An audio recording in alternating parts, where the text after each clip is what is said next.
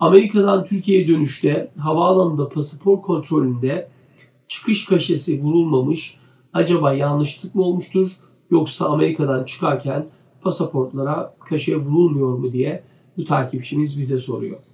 Şimdi genelde prosedür olarak kişiler Amerika'ya seyahatlerinde pasaportlarına Amerika'ya girişlerinin damgası vurulmaktadır. Ama kişiler ülke dışına yani Amerika dışına seyahat ediyorsalar pasaportlarına genelde bir damga vurulmaz. Dolayısıyla evet bu genel bir prosedürdür.